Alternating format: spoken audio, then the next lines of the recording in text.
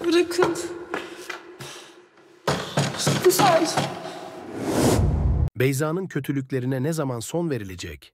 Hançer'in saflığına daha ne kadar tahammül edeceğiz?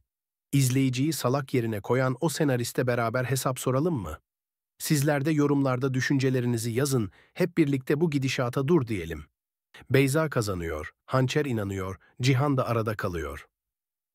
Beyza, dizide kötülüğün vücut bulmuş hali, kadın her türlü entrikayı yapıyor ama ne hikmetse bir türlü yakalanmıyor. Yani yaptığı her şeyin bu kadar sorunsuz işlemesi gerçekten inanılmaz. Başka karakter mi yok diye soruyoruz ama cevap belli. Yok.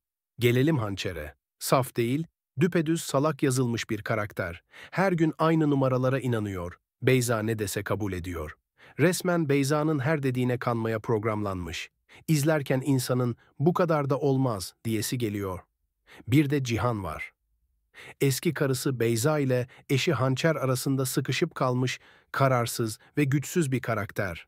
Ne tavır koyabiliyor ne de çözüm üretiyor. İki kadın arasında öylece savruluyor. Sonuç, aylardır izleyici olarak aynı yerde sayıyoruz. Beyza kazanıyor, Hançer inanıyor, Cihan da arada kalıyor. Bu dizi artık nereye gidiyor?